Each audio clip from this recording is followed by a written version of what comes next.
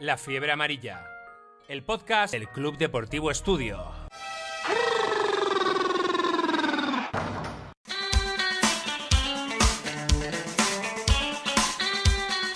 Hola a todos, bienvenidos a un nuevo programa del podcast Fiebre Amarilla. Hoy tenemos como invitado a José Luis Llorente. Histórico base español de metro 83 de altura que jugó en numerosos equipos a lo largo de su carrera, pasando por el Caja Madrid, Zaragoza y Real Madrid, entre otros.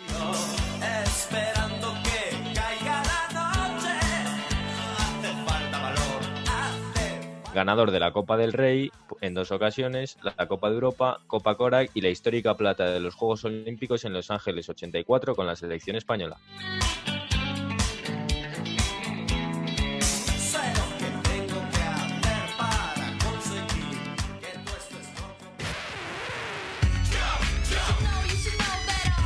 Fiebre Amarilla, el podcast de tu club, el nuestro, Club Deportivo Estudio.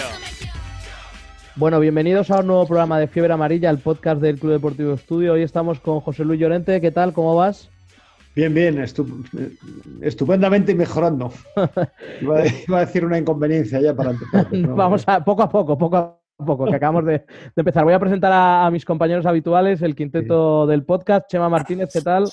Hola, ¿qué tal? Buenas tardes, ¿cómo estáis? Hola, Miguel Orozco, Hola a todos. Nacho Novo ¿Qué tal? Buenas tardes. y el rookie, el más joven, Félix de Fontecha, ¿qué tal? Hola, ¿qué tal?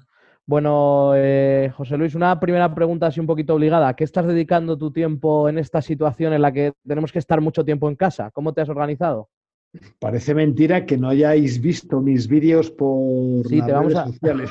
Te vamos a preguntar ahora sobre ello, pero era una pregunta de introducción. No, no, bueno, pues, pues trabajando un poco en el futuro, porque claro, yo soy autónomo, o sea, soy dueño de mí mismo, pero también sujeto a todo el movimiento exterior involuntario que se produce en estos momentos. Entonces estoy leyendo mucho, estudiando, haciendo algún proyecto, eh, también entrenando, claro, la, la vocación física, la vocación por la preparación física no desaparece nunca. Eh, viendo algunas películas, eh, pues ahora esta semana viendo el documental de Michael Jordan, al que anulé en varias ocasiones, y, y, y, bueno, pues grabando una serie de vídeos por- para las redes sociales, por en la medida de lo que sea posible, pues ser útil y animar a la gente y tal. Eso te íbamos a preguntar, que estábamos siguiendo tus entrevistas que estás haciendo en YouTube, que Sí. cuál era un poco el objetivo o qué buscas en esas conversaciones. Bueno, yo empecé con unos vídeos en los cuales eh, me parece que grabé 34 o 35 y no descarto que vuelva en algún momento, en el cual fui desgranando claves de la motivación, eh, mm, pues eh, pensamientos y reflexiones importantes, hábitos que teníamos que tener en cuenta en estos días y cómo influían en el funcionamiento del cerebro y del intestino, etcétera, ¿no? Eh, bueno, pues para ayudar a la gente, ¿no? Y la verdad es que fueron muy bien, muy bien recibidos, pero también de- decidí cambiar en un momento dado, ¿no? O sea, Sí, sí. porque pues quería ya hacer otra cosa y porque también veía que, que quizás la gente pues esperaba ya otras cosas nuevas. Entonces, estoy, en vez de hablar yo solo, pues eh, he decidido hablar, que es muy aburrido, Está mejor, Eh, está mejor acompañado, claro. y decir- he decidido hablar con otras personas y hacer más larga la conversación, ¿no? Entonces, pues he seleccionado de momento pues un mago, una persona de empresa, un periodista deportivo y luego pues en adelante vendrán pues una bióloga, una investigadora, un psicólogo, etcétera, ¿no? Eh, así que voy, voy ampliando y el objetivo es eh, pues que la gente esté entretenida, que aprenda, eh, que reciba también consejos acerca de cómo lo están pasando otras personas que se supone que son muy distinguidas y de grandes conocimientos. Y ya está, no pretendo nada más, vamos. es, una, es un objetivo eh, o una pulsión pasajera. O sea, no pretendo con esto establecerme ni llegar a ser un youtuber. Joe, has hablado de diferentes proyectos en los que estás pensando. Sí. Eh, ¿Entre alguno de ellos eh, hay- está- existe la posibilidad de escribir un nuevo libro? Pues sí, estábamos de hecho escribiendo con mi amigo Jesús Vega, que es, eh, bueno, fue una- un gran directivo de grandes es- empresas, entre ellas el Santander Inditex, y ahora es un emprendedor y un, enamorado de las nuevas tendencias de la sociedad. Y estamos escribiendo un libro acerca de cómo, cómo iba a ser el futuro. Eh, pero bueno, claro, con la que está cayendo ahora mismo, pues parece que el futuro lejano pues no nos va a importar demasiado, sino que ahora tenemos que, digamos que arrimar el hombro, arremangarnos, que decía mi madre, para solucionar lo que tenemos delante que se va a presentar eh, complicado, ¿no? Primero tenemos, eh, que yo creo que ya está terminando por lo que vemos y las noticias que recibimos, la tarea de estar confinados y de lavarnos las manos y tal. Y, luego, pues cuando termine esto, pues vamos a tener, vamos a tener delante una mucho más eh, ciclópea, primero que es cerrar la cicatriz de todo lo que nos ha ocurrido y de todos los fallecidos y muertos, y luego pues ponernos marcha, marcha, perdón, manos a la obra, ponernos en marcha para la reconstrucción de la economía del país y con ella de las vidas de millones de personas.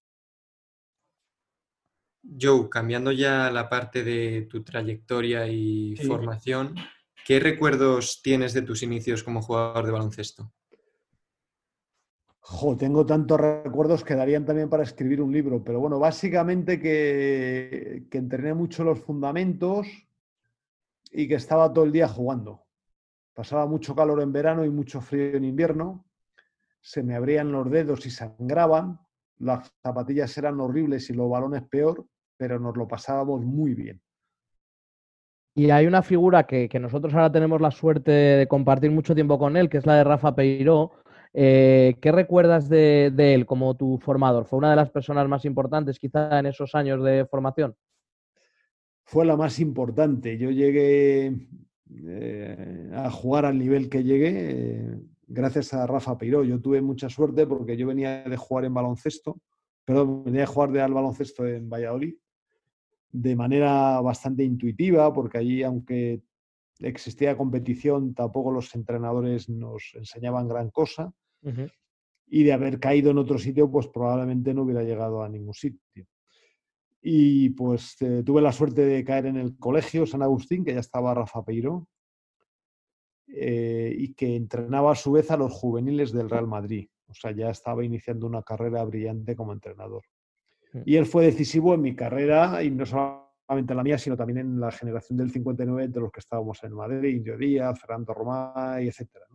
Fue muy importante y bueno, y es eh, un maestro, ¿no? Una persona que te enseñaba constantemente, que también eh, tenía visión para la vida, ¿no? Para aconsejarte en, determinados asuntos que luego van a ser muy importantes, como la educación, como eh, el estudio, el aprendizaje, el amor al, entrenamiento y a la mejora continua y desde este punto de vista fue fundamental y además coincidió en una época en la que aparecieron en España maestros en diversos lugares en los cuales se produjeron muchos jugadores. ¿no? Estaba Miquel Nolis en, Badalona o en Barcelona. Eh, bueno, estaba Ereña en Zaragoza, estaba Pablo Lasso en Vitoria y precisamente coincidiendo con, con estos eh, maestros, pues salieron generaciones de grandes jugadores. Bueno, pues eh, así de sorpresa vamos a tener con nosotros también a Rafa, que le teníamos por aquí un poquito escondido. Rafa, ¿cómo estás? Buenas tardes. Hola, buenas tardes. ¡Qué alegría! Menos mal que no ha hablado mal de mí. Si claro, claro. si no, te, tenías que ir. Eh, Rafa, ¿qué, recuerdas de, ¿qué recuerdas de Joe? No sé, cuéntanos un poco. A ver, es, lo que él ha contado, que han sido todo cosas buenas, supongo que tú lo refrendas. Pues bueno, eh, José no necesitaba entrenador casi. ¿eh? O sea, es un, es un, era un todoterreno. Eh, yo me acuerdo, empezamos con un equipo que era mini básquet allí en San, Agustín. Y bueno, ahí había otra figura que para mí era importante, fue importantísima, que era el padre Vázquez, que es el que movió todo el baloncesto allí en, en, aquella época, que era fundamental. Y, de José, pues nada, me acuerdo de ese equipo de minibásquet, que yo creo que el primer año quedamos campeones de Madrid. Sí, quedamos campeones, sí, sí. Eh, cosa que espero que en estudio alguna vez lo consigamos. Estamos en ello, estamos en ello. y, y, luego lo que, lo que más siento es no haberle entrenado más tiempo a José, porque hubo una época ahí que lo perdí de vista pero me hubiera seguido gustando estar con él más tiempo. Bueno, de cualquier manera, eh, en aquella época él, empezaba, yo también empezaba, incluso cuando llegamos arriba yo también era un, entrenador novato y, ellos también eran por jugadores todavía muy jóvenes. O sea que esa, pero una gran experiencia el, haber estado con José y con todo aquel grupo. Madre mía. no, es cierto que le debemos mucho a Rafa porque él siempre ha sido un estudioso del baloncesto, siempre ha sido un apasionado del juego y de, las, eh, de la esencia del juego y entonces nos enseñó muchas cosas, ¿no? Eh, y él nos corrigió muchísimas cosas, aunque puede que nosotros, yo creo que teníamos más talento, perdón, más dedicación que talento, ¿no? Pero él nos pulía muy bien y nos enseñaba a enriquecer el juego y a mejorar tanto en ataque como en defensa. Y de allí surgió esa gran, esa gran generación. Yo creo que al finalmente me entrenaste, que yo recuerde, en, eh, en minibásquet el último año, porque llegué un poco tarde ya a Madrid. Bueno, llegué cuando llegué de Valladolid y luego estuvimos en, en cadete y luego ya en luego ya en el Castilla, tres, cuatro, cuatro años o cinco me entrenaste, ¿no? Sí, más, o menos, sí, una cosa así.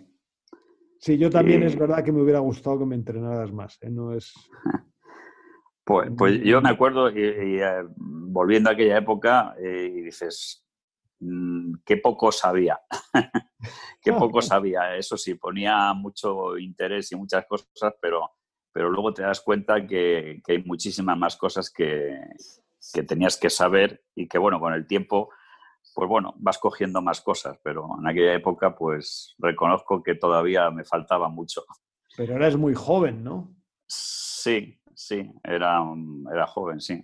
Ya no me acuerdo. Eh, el año que estuve con vosotros en el Castilla, pues, ¿qué podía tener? A lo mejor 26, 27, claro, así. Bueno, aquel equipo, eh, yo tendría 27, pero es que la media del equipo era de 20 años. Sí, estaba Alfonso del Corral y Beirán. Y Fermosel y, Echevarría, o sea, un poco más mayores. Todos los demás, pero la media era de 20 años. Era gente muy, muy joven y que nunca además habíais jugado en... Éramos juniors, sí, sí. Sí, erais un equipo junior, sí. Nos costó un poco adaptarnos al principio en la, categoría, pero luego la, segunda parte fue muy buena. Me acuerdo además que Ignacio Pinedo eh, nos contó una, anécdota porque él fue al sorteo del Campeonato de Europa Junior de ese año y comentando con el seleccionador yugoslavo, le, le, dijo, le dijo Pinedo, le preguntó, bueno, ¿qué tal, qué tal, qué tal tus jugadores? Y dijo yugoslavo, Ay, los míos son buenísimos, los míos son buenísimos, juegan todos en primera. Ignacio le respondió, por pues los míos juegan todos en segunda, pero ya veremos, ¿eh? Y efectivamente les ganamos. Joe, eh, hablando de tus inicios como jugador, yo te quería preguntar qué piensas tú, qué características crees que tiene que tener un entrenador de, formación y qué cosas debería evitar. Bueno, pues que sea de formación y no de deformación. Eh, pues básicamente enseñar las. Bueno, perdonad el chiste malo.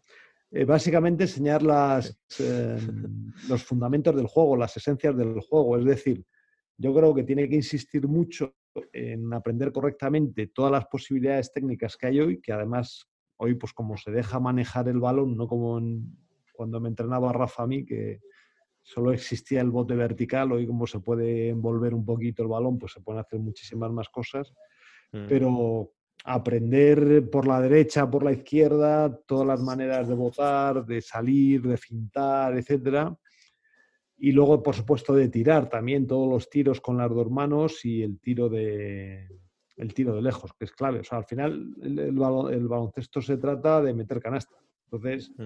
Cuantas más habilidades tengas para meter canasta, mucho mejor. Claro. Esto, esto eh, por un lado. Y por otro lado, pues hay que enseñar a jugar. Y enseñar a jugar mm. es un poco más complicado, pero también se puede hacer. Y yo la experiencia que tengo como entrenador y la que teníamos con Rafa también es que tenemos que dejar que los niños eh, jueguen mucho tiempo, mucho tiempo.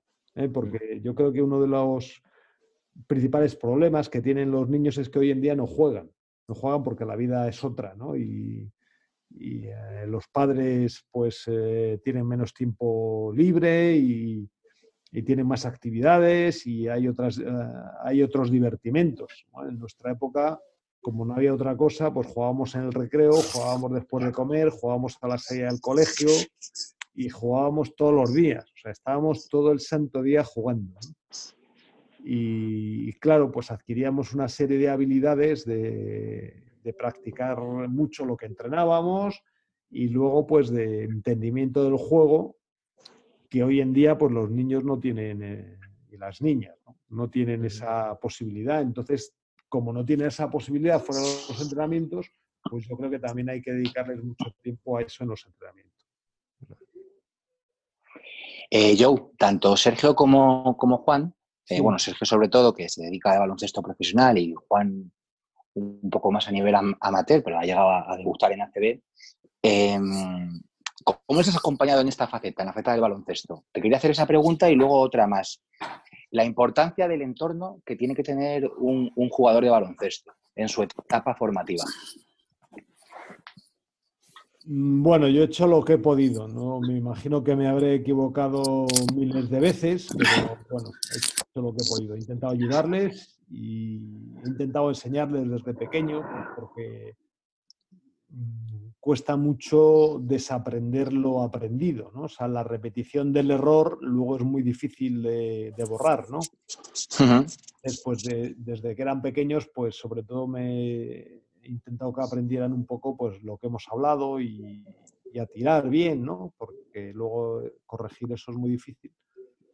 Pues un poco como hacía Rafa conmigo. Yo la verdad es que con ellos he seguido el modelo de Rafa, el modelo de Pepe Lasso y, ya está, ¿no? Y, y, bueno, pues he intentado hacerlo lo mejor posible.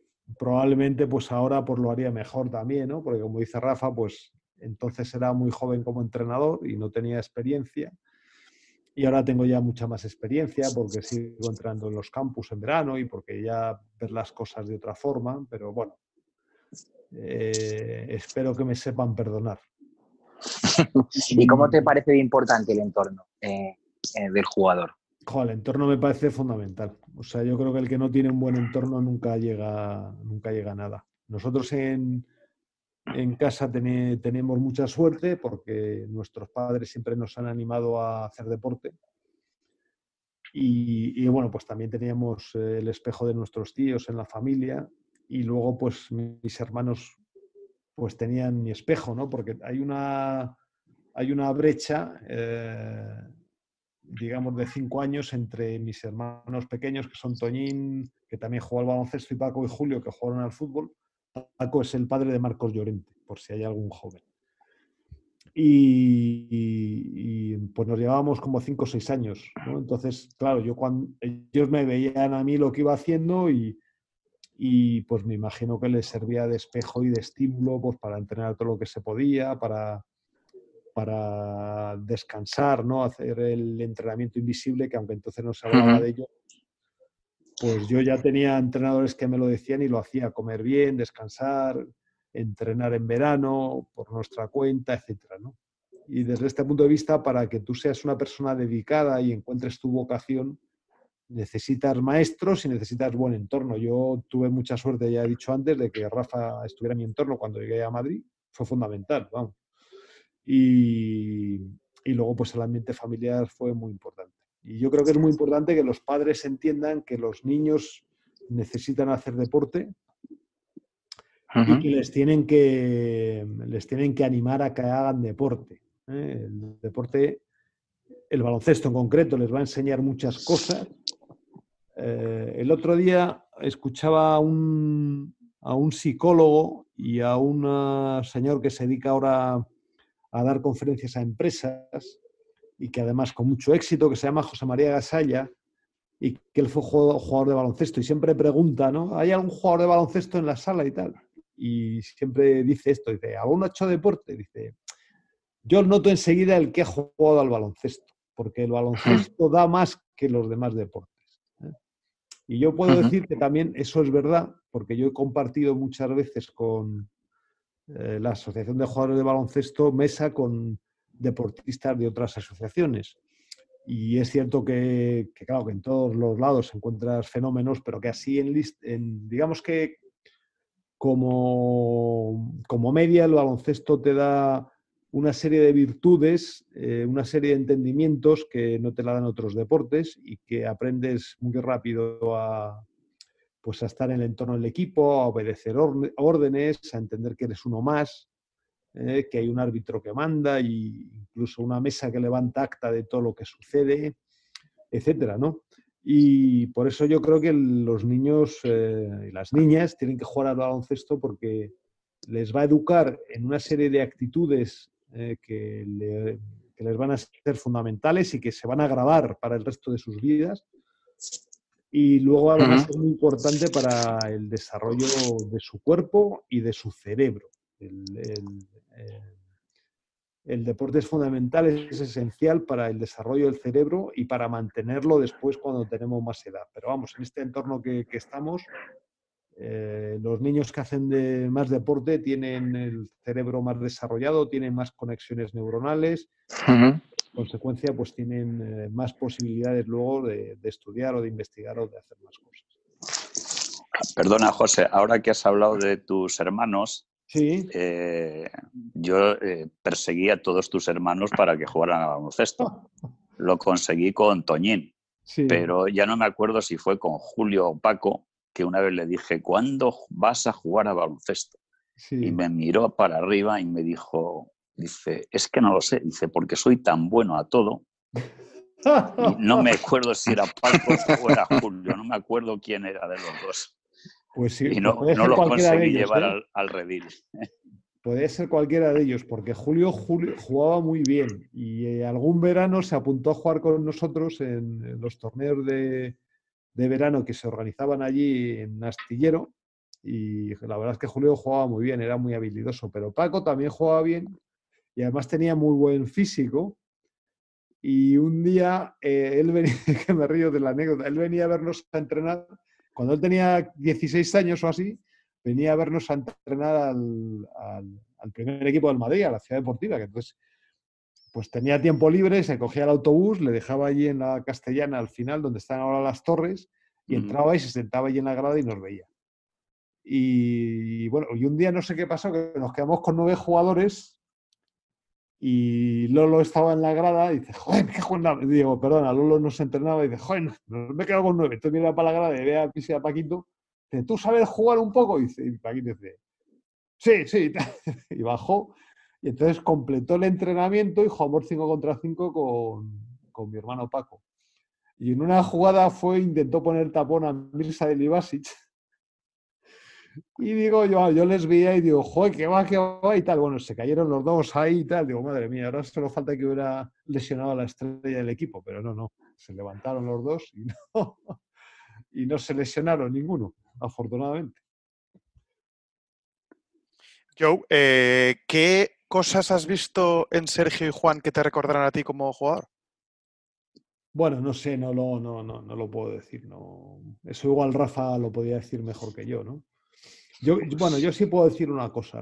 creo que los dos tienen buena visión de juego. Y eh, esta es una característica de los jugadores de la familia, tanto sean de fútbol o, o de baloncesto. O sea, todos entendemos bien lo que es el, el deporte, ¿no? Tanto en las, eh, bueno, pues mis tíos también, de, hecho, em, mis tíos, bueno, Paco Gento y, luego sus tíos también jugaban de organizadores ahí en el, al fútbol, que también jugaron en primera división.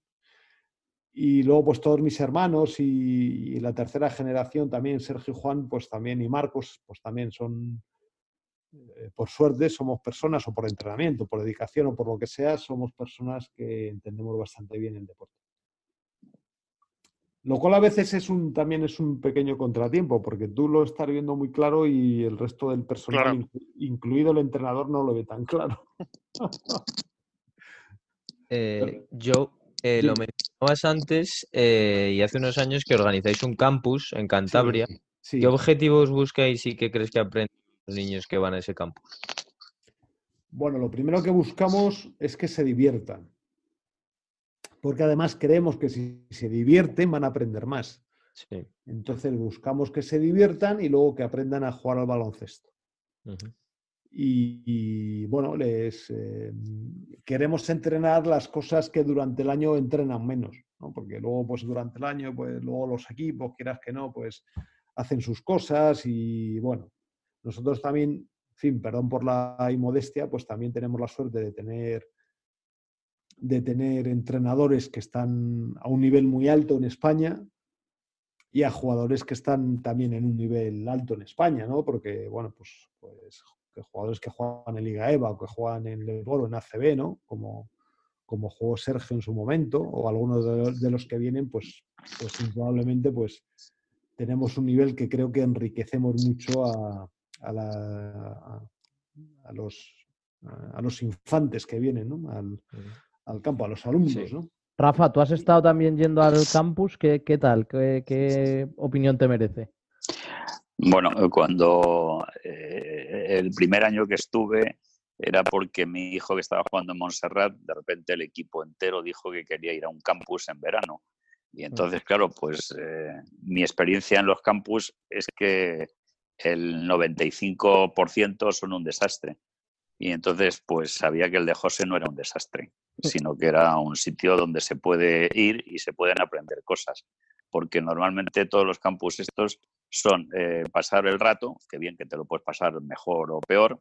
eh, normalmente no se cuida mucho a la gente y al final lo único que se van es con una camiseta que la ha firmado la estrella de turno, pero no ha aprendido absolutamente nada, porque lo que ha hecho es como un entrenamiento más de los que ha hecho durante todo el año en el colegio. Sí, sí, yo quiero decir también que, bueno, porque intentamos hacer hincapié también en las normas, en las normas de educación, ¿no? Y de respeto, y intentamos que los chicos aporten bien, y, y bueno, tenemos un código de comportamiento que lo ponemos en marcha y que, y que se cumple. Tenemos la suerte también de que, de que muchos de, de- los participantes que vienen suelen repetir, con lo cual el, la organización del campus y el desarrollo es mucho más fácil porque todos conocen, o, se- o siempre hay una gran mayoría que conoce el funcionamiento, las normas, y entonces nos ayuda mucho eso. Eh, Bueno, me, me encanta verles recoger platos a los que se han portado mal. ¿eh? Cosa buena que no han- no lección, han una hecho buena no han hecho lección. en su vida. Claro. No, tengo que decir que yo entreno todos los días eh, como un monito más, hago dos turnos de entrenamiento, ¿no? Sí. Entonces, eh, O sea, que estás implicado ahí directamente, Sí, claro. sí, sí, estoy, además me gusta mucho y, y, bueno, intento aprender más y bueno, está con nosotros eh, Mm.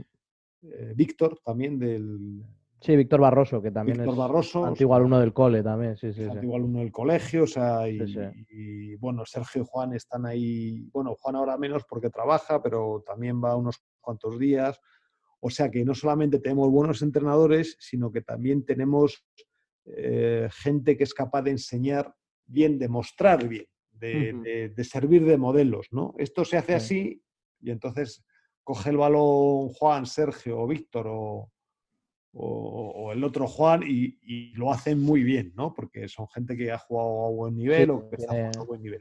que Y eso es muy importante también. Yo me acuerdo que Rafa, que también fue jugador, pues también hacía las cosas muy bien y tenía buen tiro y tal, y eso te ayuda mucho. Bueno, Joe, queríamos entrar ahora ya un poco en tu faceta más como jugador profesional y queríamos preguntarte en qué momento te diste cuenta de que podías dedicarte de manera seria y profesional al baloncesto. Mm, No creo que haya un momento concreto, eh, sino que es un proceso, ¿no? Eh, tú te vas metiendo ahí y, bueno, vas quemando etapas. En nuestra época, además, se quemaba muy rápida, no sé si porque nosotros éramos muy buenos o porque, perdón, ¿eh? perdón por la, por la inmodestia, o porque también el campo estaba, el, el entorno, digamos, ¿no? El, eh, Sí. el, em, a ver si me sale la palabra. em, el escenario en el que discurría todo era mucho más fácil. Em, ahora hay muchos obstáculos y para los jugadores es muchísimo más difícil y de hecho hay, un, hay una cosa curiosa que mientras que los jugadores de fútbol buenos enseguida empiezan a jugar o de cierto nivel en primera división, en cambio jugadores españoles de buenos hay, muy pocos, ¿no? Y en nuestra época era más fácil, eh, pues porque yo creo que también había menor densidad de, jugadores extranjeros. y, bueno, también nosotros fuimos una generación bastante precoz. cogimos además una época y un poco de, em, digamos, de transición, ¿no? Que eso también son circunstancias que te vienen bien. Y poco a poco, pues me di cuenta, digo, pues que puedo llegar a ser un, buen jugador. Yo quería ser jugador del Real Madrid y tampoco me preocupaba mucho lo demás, porque sí que nos habían inculcado en el entorno eh, del club, del colegio, de la familia, que lo importante era estudiar y seguir estudiando. Entonces, mm. eh, digamos que no teníamos, aunque nos dedicábamos en cuerpo y alma al baloncesto, porque era una pasión, pero tampoco teníamos, digamos, el punto de vista de vivir del baloncesto, de ser eh, profesionales para, digamos, para hacernos millonarios o algo así, ¿no? Ya. Y Joe, ¿qué tuviste que sacrificar para conseguir llegar a ser jugador profesional? Pues eh, por muchas amistades, básicamente, ¿no? Y, y, muchos veranos fuera de casa y, eh, bueno, yo creo que, eso fue lo más importante, ¿no? O sea, claro, estar, estar mucho tiempo volcado en lo que te gusta y luego vas adquiriendo poco a poco obligaciones y luego como tienes que estudiar, da tiempo a todo perfectamente, lo que pasa es que te tienes que organizar mucho y la consecuencia es pues que muchas amistades se pierden por el camino, pues algunas porque no entienden eh, pues no entienden que tú te estés tan dedicado y tan obsesionado, digamos, ¿no? con una faceta. Pero es que no podría ser de otra forma. Quiero decir, si tú quieres llegar a ser un jugador muy bueno, si quieres llegar a ser muy bueno en cualquier ámbito de la vida, le tienes que dedicar muchísimas horas. Y en esto no hay excusas. No vale decir, bueno, hoy no, mañana sí, al otro ya veremos. No, no. Tienes que ser muy constante y muy constante desde el principio. Y en eso, pues bueno, pues se quedan se quedan diversiones, se quedan fiestas, se quedan eh, amistades, etcétera, ¿no? Pero finalmente todo merece la pena, ¿no? Y cuando vas andando tu camino, pues te vas dando cuenta que finalmente estás haciendo lo que tú quieres. Joe, en tu etapa junior, eh, hacéis un viaje con la selección a un torneo en Mannheim, en Alemania, a una base americana y, te enfrentas a, a Magic Johnson. Eh, ¿Qué nos puedes contar de ese torneo y de ese partido en concreto y de, y de Magic, evidentemente?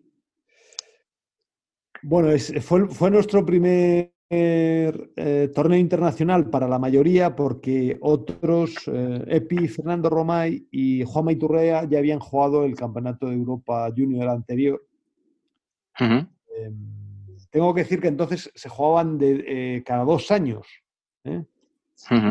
los campeonatos de Europa Junior. O sea, no. Si lo normal es que, había dos años de, en la edad junior, pues jugabas uno. Eso era lo normal. Ellos también tuvieron suerte porque, bueno, y que eran muy buenos también, pero tuvieron.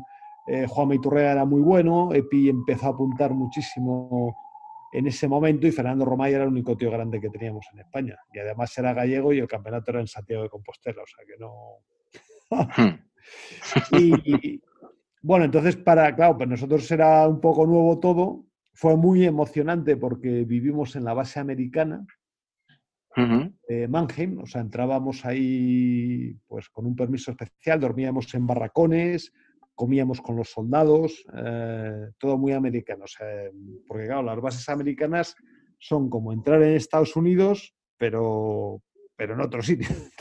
sí, sí, en otro país. En otro país, ¿no? Entonces entrabas ahí a ver las tiendas y tal, pero no nos dejaban pulular apenas por la base, porque claro, era una base militar. Y los jugadores, pues estábamos ahí. De hecho, un día vimos una pelea, ahí se pelearon unos, nosotros entre divertidos, fascinados y un poco acojonados también. Llegó ahí la policía militar, les metieron a los de la pelea en los coches, se fueron. Bueno, entonces había unos partidos que se jugaban en la base americana, que había un pabellón, y luego la fase final, digamos, era en la, inaugural y la final eran en, el pabellón de la ciudad alemana. ¿no? Entonces los partidos ahí en la base alemana eran muy divertidos porque aunque no era muy grande el pabellón, pero bueno, había palomitas y estaban los soldados por allí, la, había mucho jugador de color. Estaba el padre en aquella selección, el padre de, de Paulí, el jugador de, Oriol, sí, el Oriol Paulí, sí, sí, de Gran Canaria.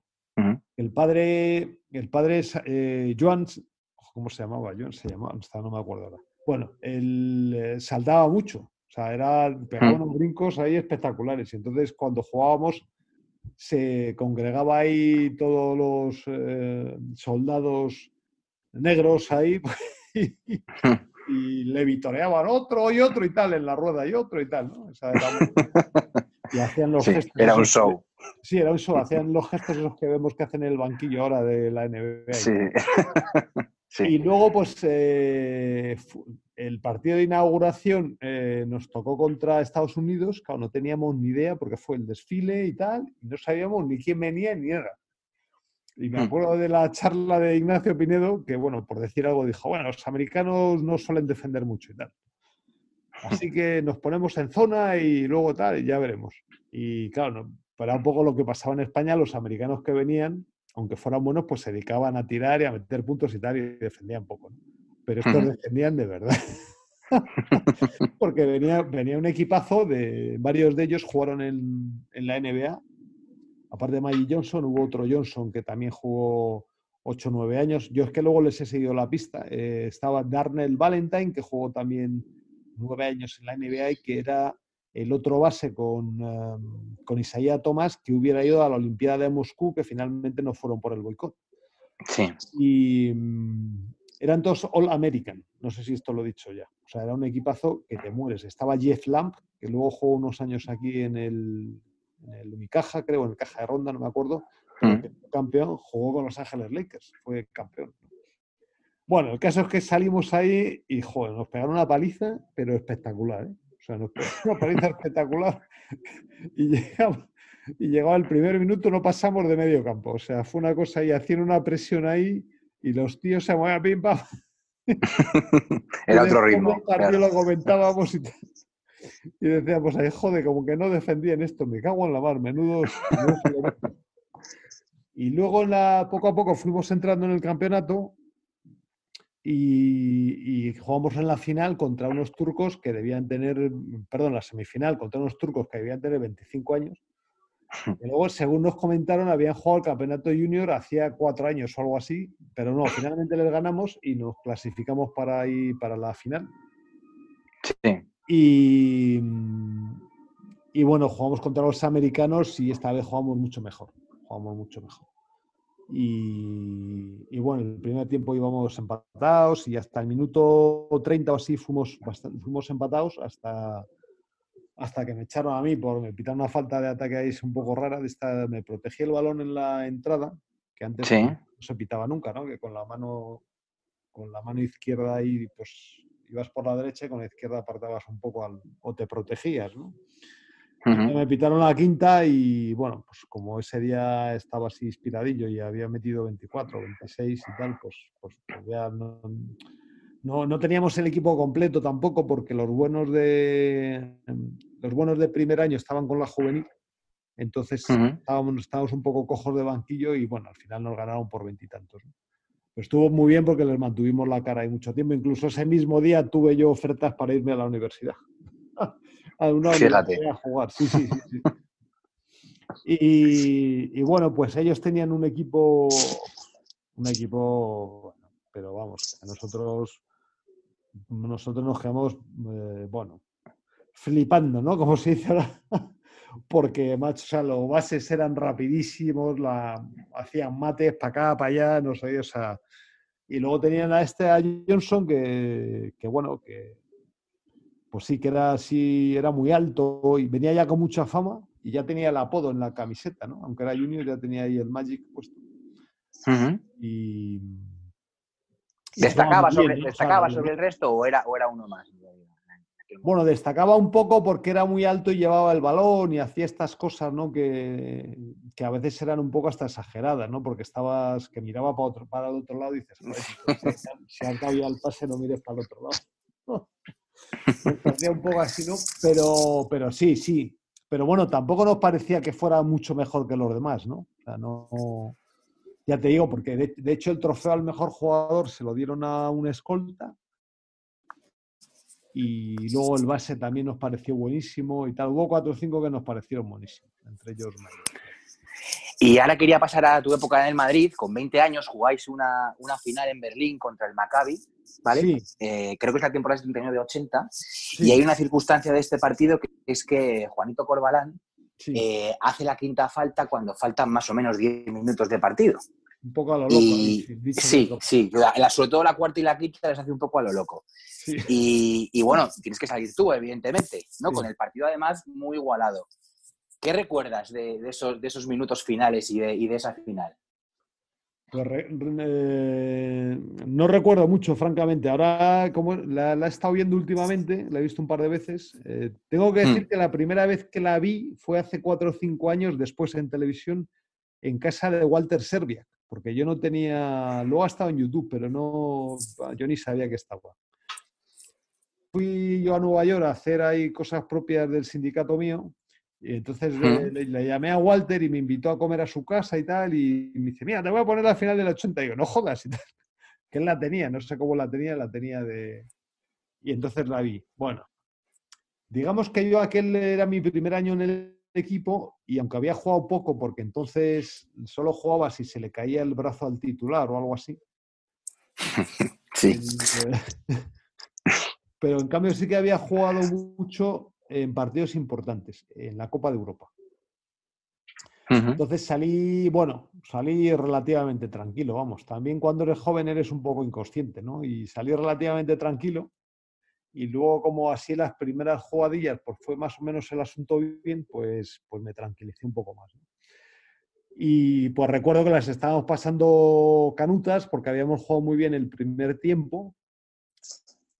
Y bueno, el Maccabi tenía un equipazo. De hecho, al año siguiente quedó campeón y con el, con el quinteto más clásico de, de su historia.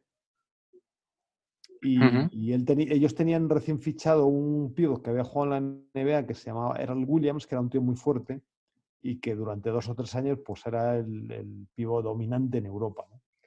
Pero nosotros también teníamos un buen jugador que, le, que no era tan fuerte, pero que era más rápido. Y en el primer tiempo con él, Rafa Rullán y los demás jugando ahí bastante bien, eh, pues, pues dominamos el partido. ¿no? De hecho, nosotros teníamos el juego de la selección española. O sea, el juego español de toda la vida, que era el juego del Madrid, que luego lo adoptó la selección española, que ha sido el que ha sacado Pablo Lasso en los primeros años más y la selección española, que era coger el balón y correr. O sea, defender muy agresivo y correr y tal. Y nosotros eh, hicimos una, una táctica de defensas cambiantes que, le, que entonces nos estiraba mucho y que le desconcertamos bastante. Y bueno, pero lo- luego, luego empezaron a ir mal las cosas porque nuestro americano pivot pues le echaron por cinco faltas y luego Corbalán se fue por cinco faltas y bueno, pues sobre todo es que la lucha en los tableros era fundamental porque ellos tenían dos jugadores, tenían a este a Earl Williams y a Olsi Perry que también era un tío que había jugado en la, en la segunda liga, bueno, en la, en la ABA, vamos, en la otra liga americana y que era Sí. era muy buen jugador y medía 2'10 y tenía los brazos muy largos. Y tal. No sé si ese día cogió 14 rebotes o algo así.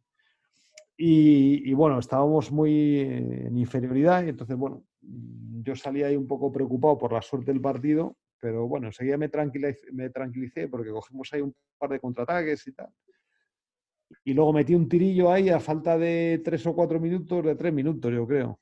Desde así, cuando ellos apretaban más,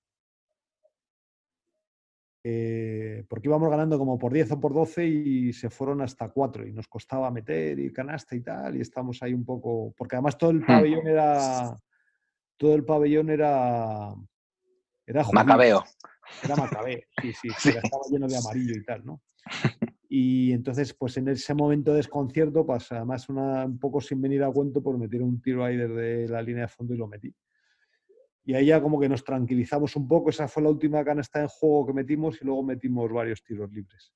Y ganamos, o sea, ganamos. Sí, ganasteis de 4 al final, 8-5, 8-1. Sí, sí, ganamos por cuatro, sí, y bueno, y bien, la verdad es que el último minuto, el último minuto y medio así fue bastante más tranquilo. O sea, de esto que te apuras mucho cuando, porque vas todo el partido ganando y cuando quedan cinco minutos así, dices, joder, no van a ganar. pero luego ya eh, consigues aguantar ese momento y al final pues lo pasas mejor. Luego en el 83 eh, te, ofrece renovar y tú decides no continuar y fichas por, por Caja Madrid para dos temporadas. La primera de ellas es justo la previa a la que se juega en las Olimpiadas y haces dos temporadas muy buenas. Eh, y bueno, te seleccionan para ir a la, Olimpiada. Eh, ¿Cómo fueron esas temporadas fuera del Madrid? Pues bueno, fue un poco sorprendente lo del Madrid porque yo la, la última temporada del Madrid había jugado mucho. Entonces yo, digamos que esperaba una oferta más larga y me dieron una oferta más corta y no sé, me, yo era muy mío y bueno, dije, pues no quiero. Y me fui, me fui al Caja Madrid, que tenía buena pinta lo que estaban haciendo. Y la verdad es que muy bien, encantado, porque en el Madrid estás un poco encorsetado y, bueno, pues te, dedicas que cuando juegas de base a intentar que los demás metan puntos, a defender, a ordenar un poco el asunto, a tranquilizar el juego pero tu misión fundamental es que los demás metan puntos y, intentar mantener el ritmo del partido. De hecho, teníamos un dicho dentro del equipo que es cuando los bases tenemos que meter puntos en un partido determinado, es que las cosas van mal. ¿eh? Que de vez en cuando pues teníamos que meter puntos.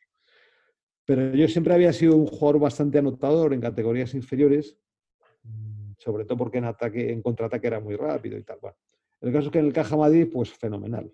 Tenías otro rol y claro, cambió la cosa, ¿no? Sí, cambió un poco la cosa porque ya el equipo necesitaba otra cosa, ¿no? Y estaba Beirán, que también había salido del Madrid, Bravender, que también había salido, y fichamos dos americanos bastante buenos también. Luego se incorporó del Corral, y luego estaba mi hermano Toñín, o sea que teníamos un equipo muy apañado, muy apañado, que además corríamos mucho, no parábamos de correr en todo el partido. Tengo que recordar que entonces eh, en el partido tenía muchas menos paradas que ahora. Mm, creo que en ese sentido el juego ha retrocedido, porque ahora es mucho más lento, ¿no? O sea, antes había muchas menos posibilidades de cambiar. Solo se podía cambiar cuando tenías posesión de balón. Y no, no en todas las circunstancias. Y solo podías pedir tiempo igualmente cuando tenías posesión de balón. Y el balón en campo de defensa no lo tocaba el árbitro, con lo cual el juego era mucho más, mucho más rápido. Vivo, sí. Era mucho más vivo, ¿no? Yo creo que en eso hemos perdido. Precisamente el balonmano eh, eh puso, la puso una norma para hacer el juego más vivo, que era que, cuando el árbitro pitaba había que dejar el balón en el suelo inmediatamente. Y eso favoreció mucho el balonmano porque hubo mucho más anotaciones. O sea, me acuerdo en mi época era terminar los partidos 16, 15 y ahora terminan 30, bueno, el caso es que yo creo que el baloncesto en eso ha perdido. Entonces, en nuestra época, pues podíamos correr mucho más y los equipos rápidos y que teníamos buen físico en ese sentido, pues podíamos imponer nuestro juego. Así que lo pasamos muy bien. Eh, tengo que decir que ese año fui a la selección, además jugué bastante hmm. bien. El mundo deportivo me dio el trofeo al mejor jugador nacional y me lo entregó, ¿os acordáis aquel Aquel, eh, bueno, es que vosotros sois muy jóvenes, joder. Rafa, no ¿Rafa estás ahí o, se ha ido ya, Rafa? Bueno, un, un, Juan José Castillo, un periodista de televisión. Sí, sí, sí. Transmitía todos los partidos de tenis y tal, que decía, entró, entró y tal. Pues que me hizo mucha ilusión conocerle porque es de estas personas que la oyes de toda la vida, pero como es de Barcelona, pues no la conozco. Y bueno, pues no sé, eh, que, fue, fue, fue, una bonita experiencia porque además éramos todos muy amigos, nos hicimos muy amigos también con los americanos y salíamos a cenar y, y el primer año lo pasamos muy bien, el segundo año lo pasamos peor en el Cajamal. Te quería preguntar sobre, bueno, ya entrando en la Olimpiada, eh, quería irme al partido de semifinales contra Serbia. ¿Vale? En Yugoslavia, Yugoslavia. Sí, perdón, Yugoslavia en aquel momento, Yugoslavia, tienes toda la razón, toda la razón, Yugoslavia. Nacho Solozábal y Corbalán eh, no estuvieron muy finos. No. Eh, sales tú y eres clave en la victoria. ¿Qué recuerdas de ese partido y de tu actuación? Bueno, ya había pasado en cuartos también, ¿eh? Lo que pasa es que él se recuerda menos porque eran cuartos, pero en cuartos contra hmm. Australia eh, habíamos tenido eh, una actuación regular contra Australia. Sí, una actuación así nos costó mucho ganarles. O sea, Australia era un equipo muy peleón y tal, y no eran muy buenos, pero joder, eran muy peleones, de estos que Además, entonces el, balón de, de, posesión eran 30 segundos y el rebote, si cogía, o sea, no había las normas estas, ¿no? Se podía jugar a retener el balón mucho más que ahora, ¿no? En eso sí ha ganado el baloncesto. Y, entonces tenían un par de jugadores anotadores muy, muy, buenos y tal, pero vamos, nosotros creíamos que les íbamos a ganar fácil, pero nos costó mucho. Y yo salía al final, con lo cual ya me, pues eso me reforzó mucho la confianza porque jugué muy bien, bueno, jugué muy bien, jugué bastante bien, metí las dos últimas canastas y tal, ¿vale? Y como ya venía de una buena temporada y en los entrenamientos había estado bastante bien y hubo otro partido que también que jugué, no me acuerdo ahora qué partido fue, que jugué bastante bien ahí en, en los juegos, pues, pues salí bastante confiado. Salí bastante confiado y de hecho ordenando ahí alguna cosa en defensa y tal y, y enseguida cambió el juego, el ritmo del partido y tal y, y bueno, nos costó un poquito, pero vamos, el partido yo lo veía muy claro en el, en el, en el banquillo, porque de hecho nosotros habíamos jugado un, un, torneo de preparación contra Yugoslavia, les habíamos ganado también. Uh -huh. y, y, el juego nuestro era correr. Y entonces estábamos jugando muy despacio y claro, ellos jugando despacio pues con los Petrovic, con Dali Pajic, eh, Radovanovic, o sea, ellos tenían buen equipo. Y jugando a un, a un ritmo lento, pues teníamos muchas menos opciones. Yo entendí que enseguida había que correr y corría en cualquier situación y eso nos daba situaciones mucho más claras de tirar y luego poco a poco, cuando tuvimos ya la confianza, empezamos a defender mejor y en la segunda parte ya desde el principio fuimos superiores. O sea, el descanso nos vino muy bien porque hicimos un poco ahí examen de conciencia y nos reforzamos y ya en la salida empezamos a presionar desde arriba Luego, sí, porque el descanso ibais 5 abajo, yo creo recordar. Sí, ¿no? sí pero ya con otro ritmo, pues llegamos a ir 8 o 10 abajo. Llegamos a ir 8 o 10 abajo. Pero ya la, digamos que la dinámica del partido había cambiado y enseguida otra vez pues empezamos a robar balones, a correr y tal.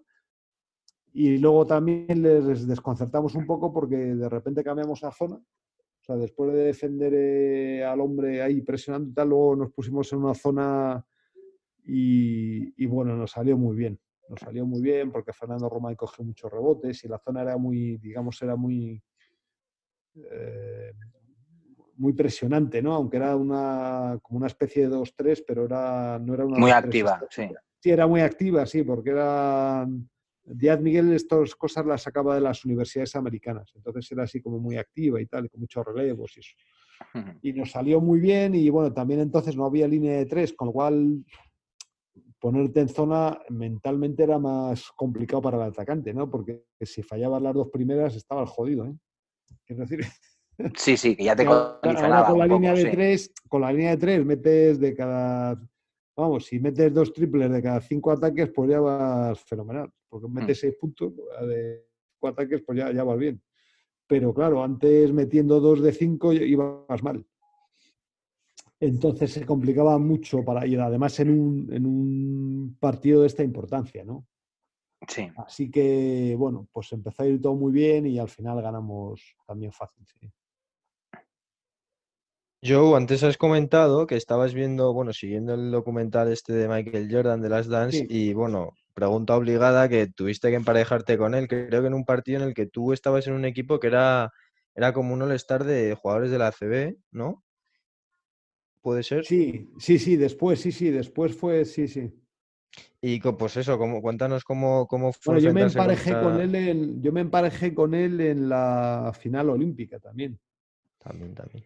Y, y cómo era ese, bueno, en la final olímpica que era un Michael Jordan muy joven, ¿no? Sí, era un jugador que yo era muy joven, pero que al año siguiente llegó a la NBA, o sea, que decía, los dos meses estaba metiendo 30 puntos en la NBA. O sea, sí, claro. Que, claro. es que muy joven, sí, claro. Es que antes salían de la. O sea, yo hablaba de Magic Johnson. Lo que yo contaba de Magic Johnson fue el año 78, yo creo. En el año 80 fue el mejor jugador de, de las finales. Hmm. Claro, es que antes llegaban a la. O sea, no es como ahora, ¿no? Que un jugador llega y, y, no es dominante. Antes llegaban a la NBA y eran dominantes. O sea, Magic Johnson llegó y el primer año fue mejor jugador de, de las finales. Hmm. Y no fue. Y no fue y no fue el, el, novato del año, que el novato del año fue la River. Y Michael Jordan llegó y, al, y, estaba metiendo 30 puntos desde el desde el minuto uno. Tercer partido que, que se ve ahí en el. ¿Y cómo era, cómo fue para ti? El, eh, ¿En qué momento? ¿En los Juegos Olímpicos o en los Juegos? Sí, que era más. Bueno, él, él, ya era muy famoso en Estados Unidos porque lo que pasa es que él salió, la gente se sorprende ahora, como no salió número uno, es que entonces todavía estaba el pensamiento de que los hombres grandes dominaban el baloncesto. Porque el juego no había, o sea, no, no, se tiraba de tres apenas y tal. Entonces, digamos que eh, en los últimos años los equipos que habían tenido un 5 grande y rápido y tal, pues habían dominado. O sea, pues con Jabbar, con Bill Walton, etcétera, ¿no? Y entonces, claro, había una joya ahí que era Olajuwon, y claro, todo el mundo creía que con Olajuwon iban a dominar el iban a dominar los campeonatos y tal. Lo que pasa es que luego el juego fue cambiando eh, y luego pues resultó que no era tan importante tener un tío más grande.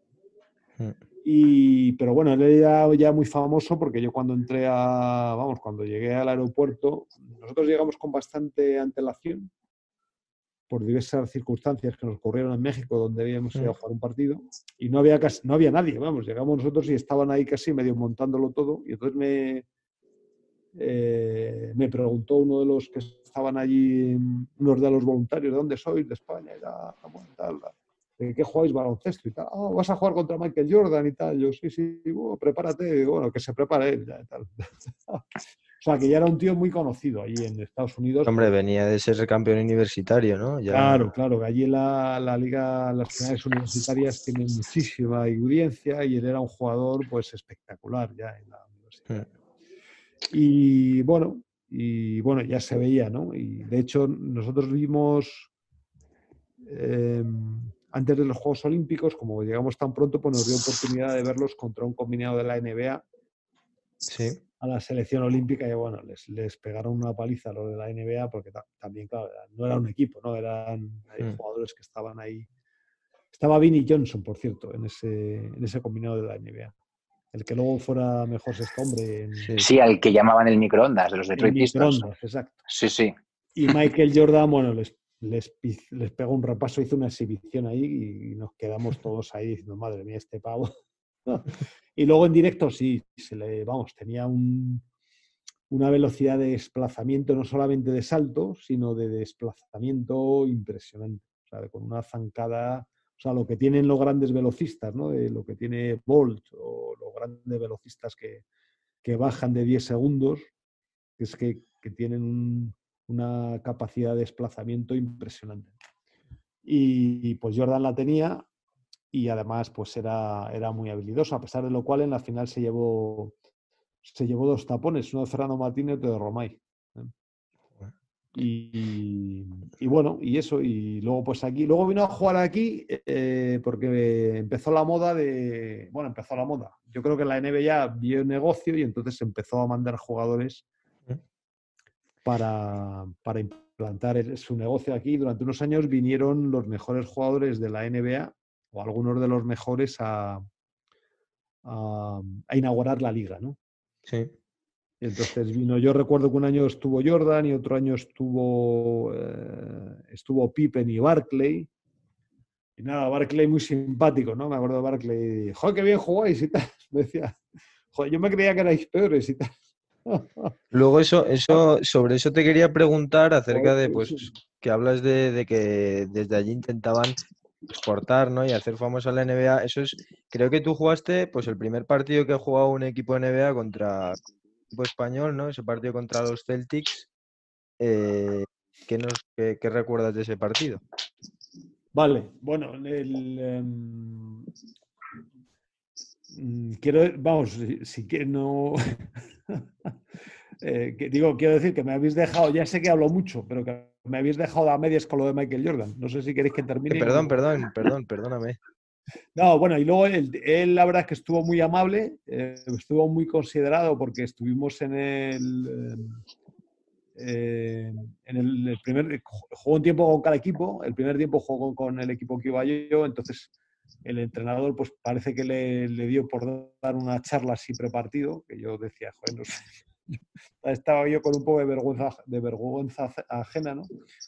aunque no dijo gran cosa y tal, pero bueno, el caso es que el tío atendió allí a lo que se le dijo y luego pues jugando pues bien, el tío intentó jugar muy bien, se esforzó bastante y en un momento determinado me, me pidió que le echara ahí un, balón arriba para hacer un mate, un alley Y yo pues le tiré el balón ahí, que tampoco se hacía muchos entonces, ¿no? Hmm. Y, parecía que se me, se me, iba un poco. Digo, madre mía, ¿dónde va eso? Pero vamos, lo cogió bien. Así que quedé muy bien y me felicitó. Yo creo que hay una foto de eso por ahí también, vestidos de naranja los dos. Yo vi una foto que, creo que compartiste tú el otro día en el que, no sé qué cuenta de, pues de baloncesto americano ponía una foto como de un jump shot de Jordan que salías tú ahí defendiéndole, que vamos, un bote que me para, para el tiro que salías tú ahí en la foto. Eso sí. Vale, esa es una foto de la final olímpica y es una foto en la que estamos en planos diferentes. De hecho, luego yo hice un montaje para explicarlo porque colgados de lados estuvieron riendo un poco de mí. Y así de buen rollito, ¿no? Como ellos, ¿no? Pero. Y entonces yo me fui al partido. Yo, francamente, no me acordaba de la jugada, pero yo sí me daba, me daba cuenta claramente, solo observándolo, en diferente plano, porque yo estoy pisando las líneas de fondo, estoy casi fuera del campo. Efectivamente se ve como él, eh, él intenta postear, yo no le dejo, o sea, tenemos ahí un forcejeo fuerte y luego intenta hacer el pivote ese que hacía él. Yo choco, le desequilibro y me voy para atrás. Entonces yo, lo que se ve en la foto es que yo me estoy yendo para atrás y él, él salta mucho porque intenta un poco equilibrarse, pero aún así se tira una castaña. O sea que aunque parece que tal, se acaba tirando una castaña. Que él sí no toca ni el aro. Así que el vencedor de ese momento fui yo. La foto que decíais de los dos, Joe, la foto que decíais de los dos de naranja es tocándonos la mano, ¿no? Sí, sí, sí. Sí, sí, esa foto la tenemos y la meteremos en el montaje. sí. sí. sí. Y luego con Larry Bird y tal, pues fue un partido muy bonito eh, con los Boston porque, bueno, ellos eran un equipo que jugaba como Los Ángeles, ¿no? No como Los Ángeles Lakers, sino como Los Ángeles. Para mí era el que mejor jugaba porque tenía mucho menos físico que, los Lakers, ¿no? Los Lakers eran muchos mejores atletas, pero los Celtics pues eran como aprovechaban más el la técnica ¿no? y las variantes tácticas y jugaba más listo, digamos. Y bueno, pues eh, tampoco sabíamos muy bien lo que íbamos a hacer. Ellos estaban en pretemporada, nosotros estábamos un pelín más rodados, aunque tampoco mucho, porque era pretemporada. ¿no? Y bueno, la verdad es que el partido estuvo interesante y, y, bueno, no se sabe nunca a qué nivel jugaron ellos, aunque al final del tercer cuarto íbamos empatados o ganábamos nosotros. Y, bueno, bien, yo recuerdo que defendía a Denny Ench bastante bien. Eh, una vez me posteó Dennis Johnson y como yo le empujaba y tal, y se dio la vuelta y me, me joder, me, casi me levanta un diente, pero bueno, me lo partió un poco y me metió canasta típica. Y les jugamos bastante bien. Y bueno, en el último cuarto me quitó Lolo, no sé por qué, porque yo había jugado muy bien el día anterior contra el Scavolini Perdonad que de vez en cuando me luzca a mí mismo, ¿no? Pero bueno, para las ocasiones que son, pues... y, me quitó a mí que yo estaba haciendo muy bien porque estaba corriendo mucho y, y bueno, estaba entonces dominando el partido, ¿no? Porque cuando uno es capaz de correr mucho y, y con, eh, corriendo además desconcertar la defensa rival y crear muchos huecos y robar balones, ¿no? De hecho, había robado un par de balones y tal, pues, pues entonces tú notas que estás un poco llevando tú el ritmo del partido y el juego, ¿no? Y bueno, al principio del último cuarto pues me quitó y eh, yo creo que si me hubiera dejado hubiéramos sido mejor, pero bueno, en fin, estas son eh, elucubraciones egoístas que no tienen por qué ser ciertas. Y bueno, pues al principio, lo digo porque al principio los tres o cuatro primeros minutos del último cuarto fueron un poco de desconcierto por parte de los dos equipos y luego ya la River se centró y ganó el partido. Pero en ese momento, pues eran mis momentos, ¿no? Cuando están las aguas revueltas, cuando el partido está ahí sin dueño, ¿no? Y con un poco corriendo para un lado y para otro, ahí es donde yo me, desenvolvía muy bien. Bueno, el caso es que pues recuerdo que Fernando Romay jugó muy bien, aunque todo el mundo recuerda lo de Pep Cargol, pero Fernando Roma hizo un partidazo impresionante. O sea, se dio ahí a dar leña y tal. que Robert Paris ya dijo un momento diciendo, joder, déjame ya de dar hostias, tío, que, que esto es un amistoso. Fernando Roma y daba sin venir a cuento. O sea, te daban que estuvieras tú en su equipo, también te daba. Pero estaba muy bien, era un gran jugador, reboteó muchísimo. Luego Pep Cargol, que también jugó muy bien. Johnny Rogers jugó muy bien, lo que pasa es que se cargó de faltas. Y de ellos, pues, pues todos jugaron muy bien. A McHale ya le conocíamos también, porque ellos había venido un combinado de la NBA en el año 82, me parece, 81, 82. Y habíamos jugado contra ellos.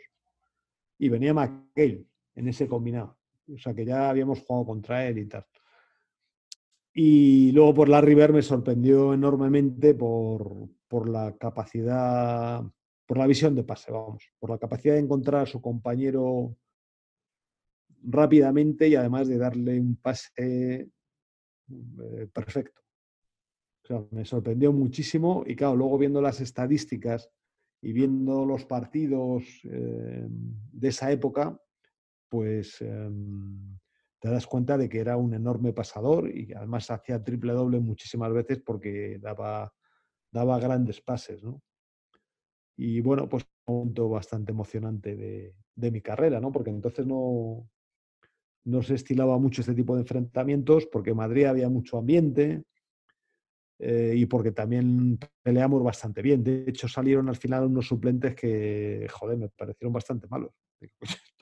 Qué malos son, ¿no? Que entre estos suplentes estaba Ramón Rivas, que luego jugaría en el Tau. ¿Os acordáis de Ramón Rivas? Sí, sí, sí, sí. Ah, vale, vale. Sí, sí.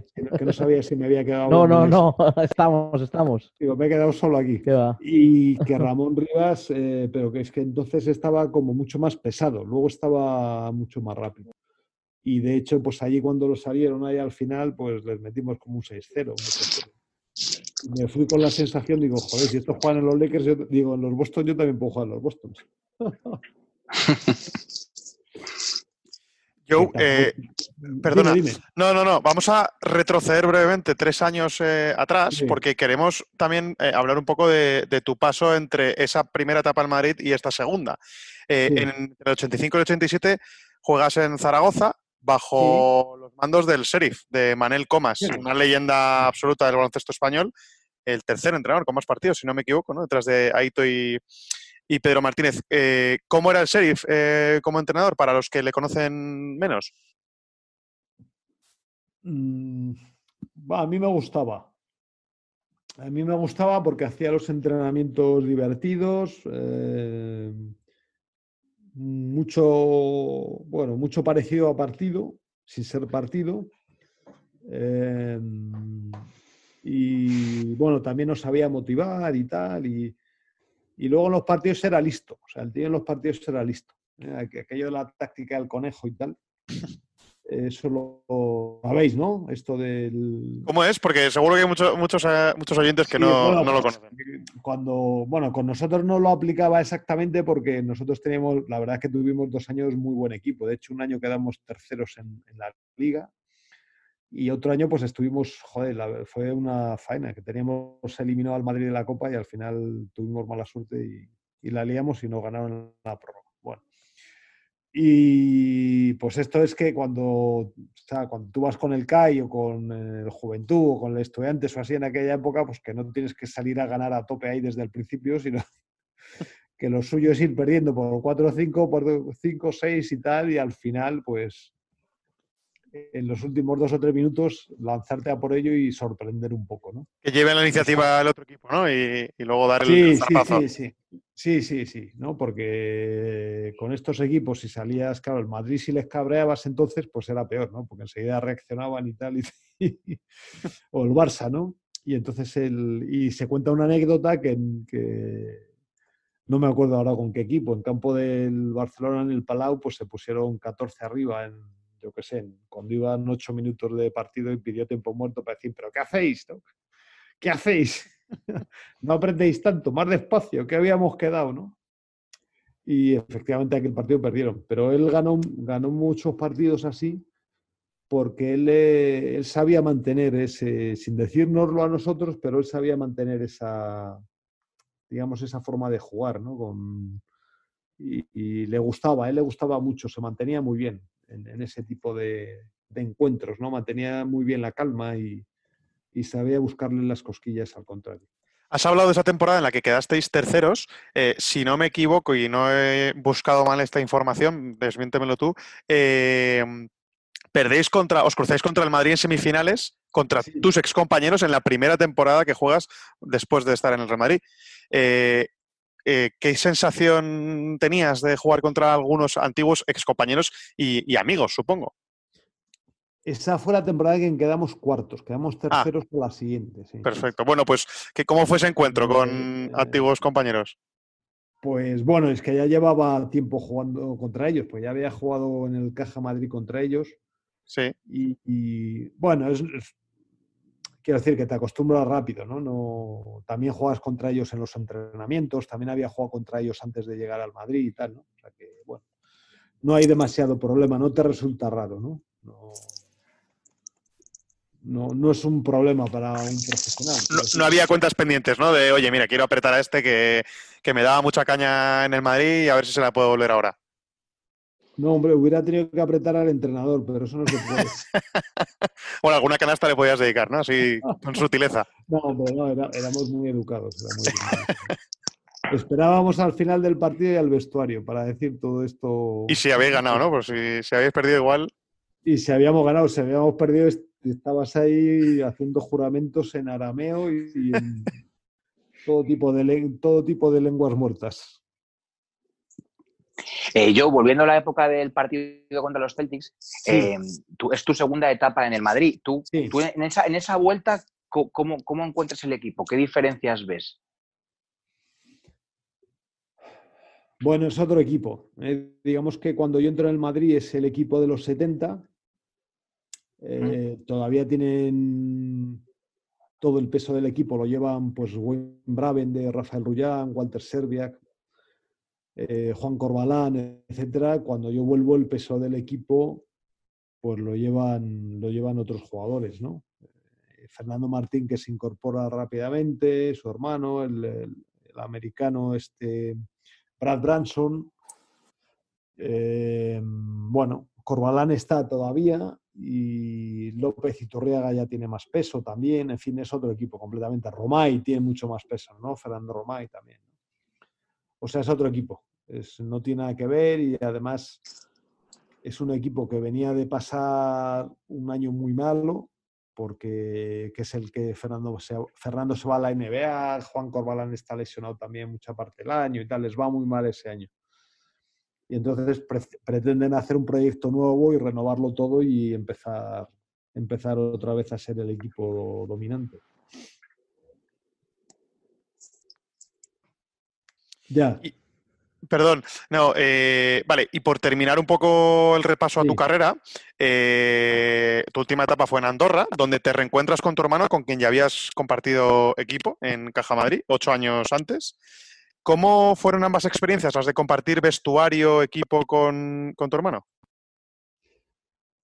Muy buenas, muy buenas porque nos llevamos muy bien y además en Andorra jugamos mucho tiempo juntos, con, anticipando eso de jugar con pequeños que se hace ahora, ¿no? Sí. Y la verdad es que era muy divertido y además tuvimos buenos equipos y lo hicimos muy bien, menos el último año, por razones que, que no vienen al caso comentar.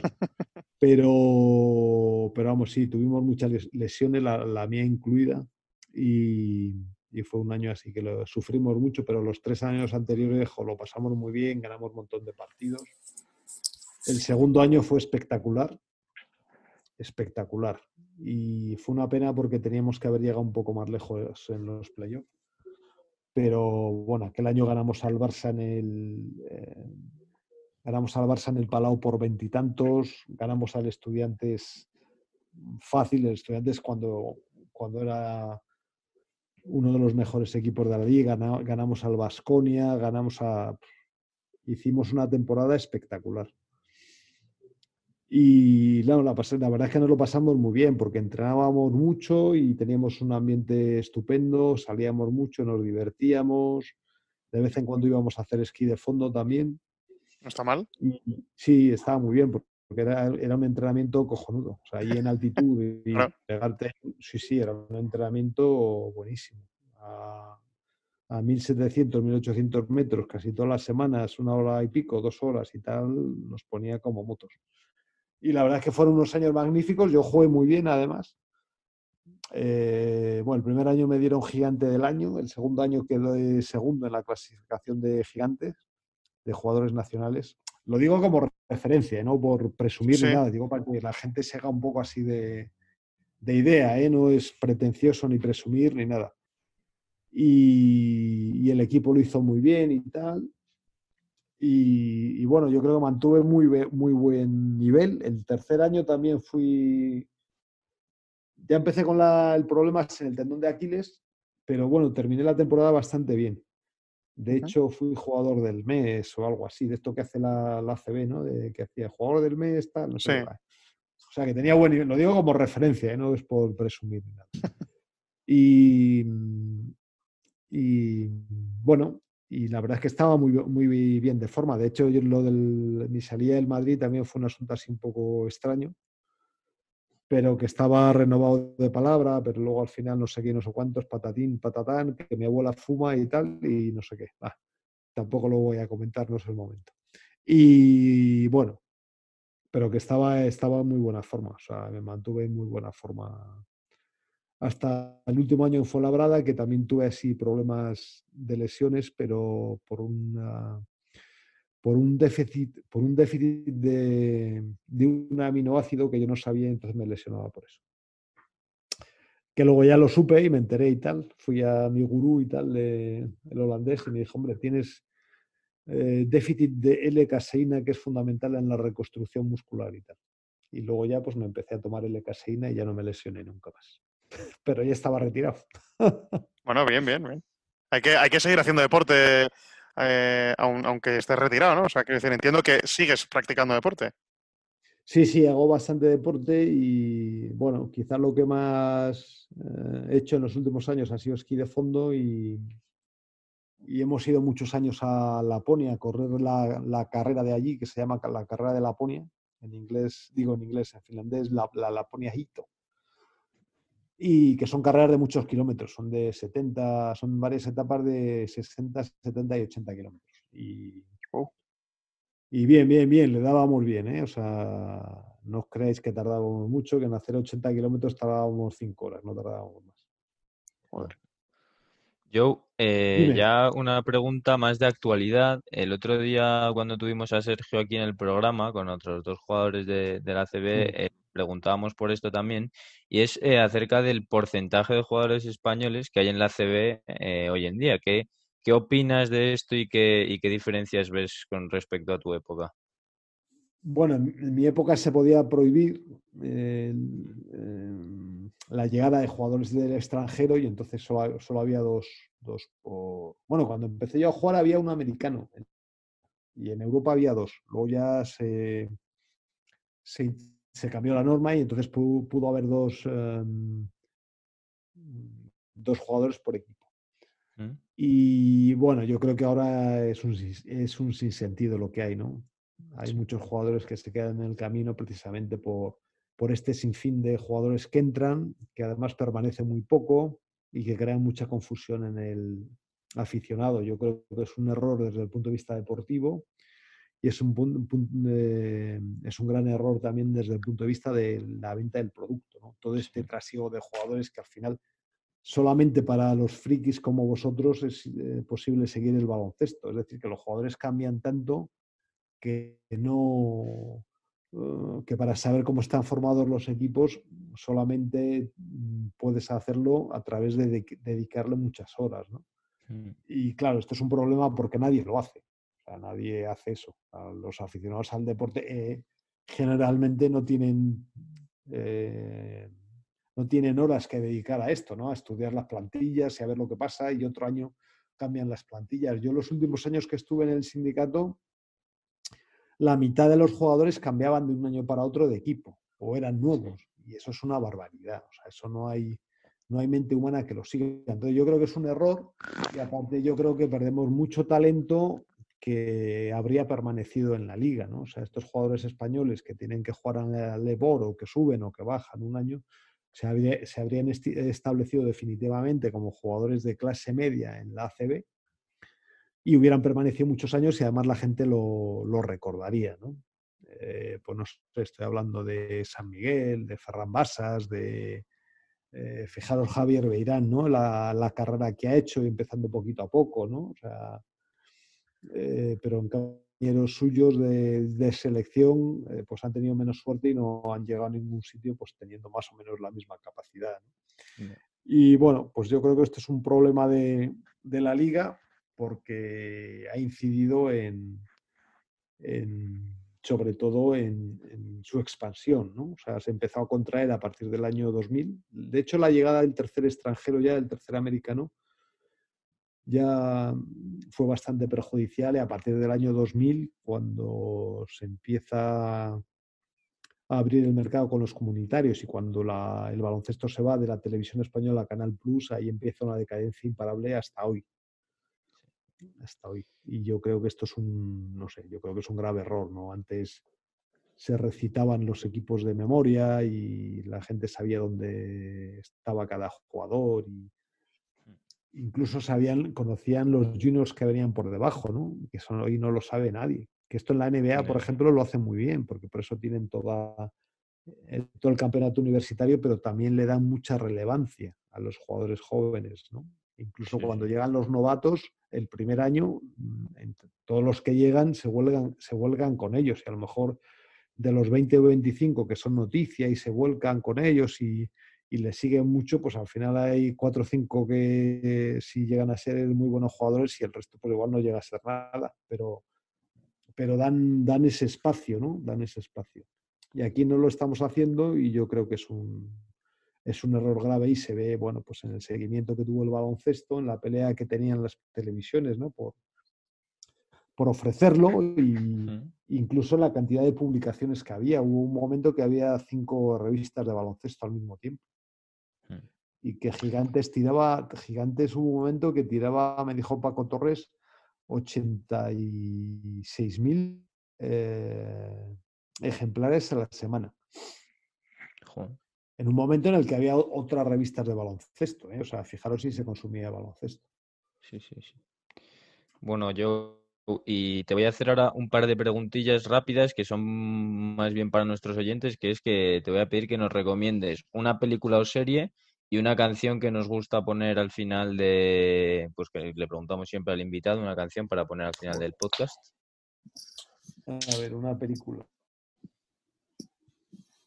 ¿Una película de, qué tipo? O sea, ¿tiene que ser una película conocida o puede No, no, no, una recomendación que quieras hacernos, película, serie, lo que, lo que quieras. Vale, yo, mira, yo voy a recomendar una película que igual mucha gente no la, no la habéis visto, eh, que es El maquinista de la general de Buster Keaton, que es una de las mejores películas eh, de la historia, siempre está entre en la lista de las mejores de la historia, pero que ahora se ve poco, yo creo, ¿no? Y es una película de cine mudo, claro, pero es una película soberbia, es divertida, es trepidante, es sorprendente, ¿no? Porque con los medios que había que pudieran hacer aquella, aquella película, y es entretenidísima, ¿no? Y bueno, muestra el genio de Buster Keaton, que para mí era muy superior, bueno, muy superior, superior al de Chaplin. Como cineasta, ¿eh? Como cineasta, las películas de Keaton son mucho más completas que las de... Y luego lo otro que me ha dicho, perdóname, era...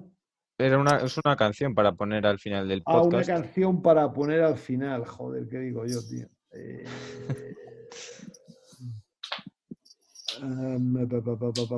Puedes decir si, si, te hace más fácil un grupo que te guste especialmente ya nosotros. Em, pues em, bueno, vamos a poner Strawberry Fields Forever. Oh. y, Y ya, Joe, para ir para terminar esta entrevista, ¿qué, ¿qué consejos le darías a un joven jugador de baloncesto? Mm, me imagino que quieres eh, referirte a uno que quiera ser profesional. ¿No? ¿O no? Sí.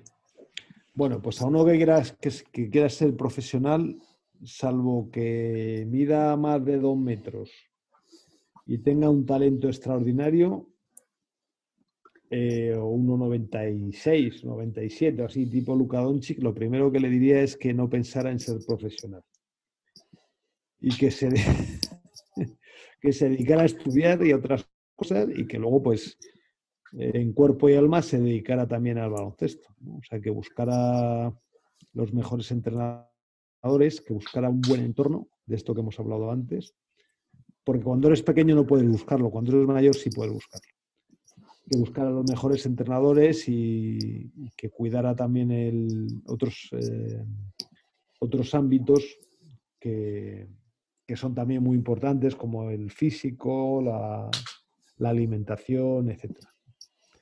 Y que no desesperarse, pero yo siempre recomiendo que aparte del baloncesto tienes que tener otra opción, porque eso te va a permitir vivir más, más tranquilo y te va a permitir además eh, por ello rendir más. ¿no? Y hay muchos casos en el baloncesto antiguo y en el moderno de jugadores que de baloncesto, incluso de fútbol o atletas, que son capaces de hacer las dos cosas y que llegan a gran nivel y que además pues tienes la tranquilidad de que en el futuro, cuando termines de jugar, pues será todo un poco más fácil. Eh, bueno, eh, ya para terminar, Rafa, ¿tú quieres algo, quieres algo, tienes algo que decir de cierre o?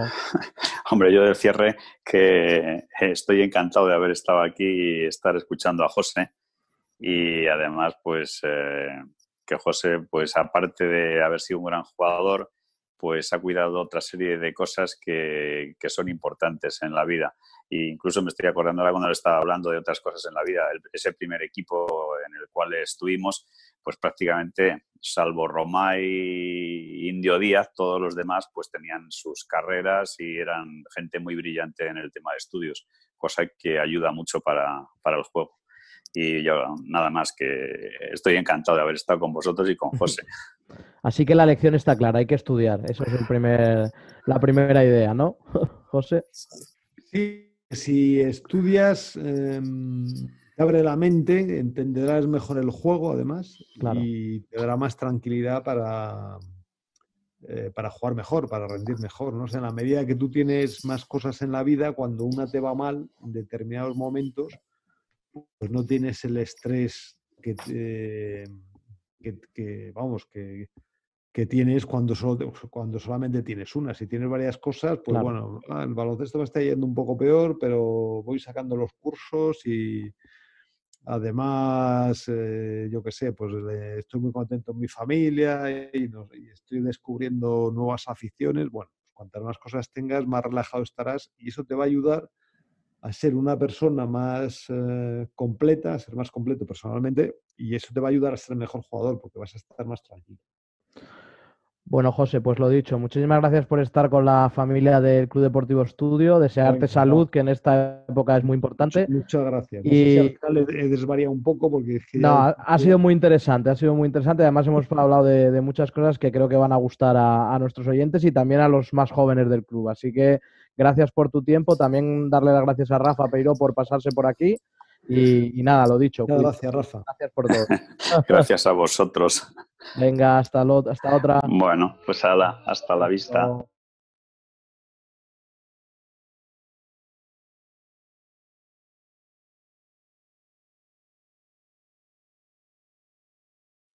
A veces en la inspiración hay una regla excepcional. Lo que construye una persona es legado para otro. Y esto es lo que ha sido Joe Llorente para el baloncesto español, una inspiración que ha vivido múltiples experiencias en la ACB, las Olimpiadas e incluso jugando contra leyendas como Michael Jordan, Larry Bird y Magic Johnson.